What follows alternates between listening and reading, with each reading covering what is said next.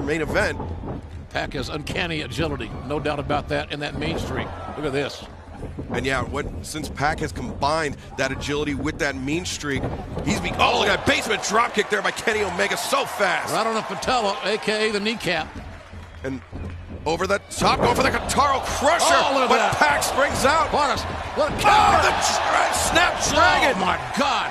Pac, Pac so Dropped right on his head.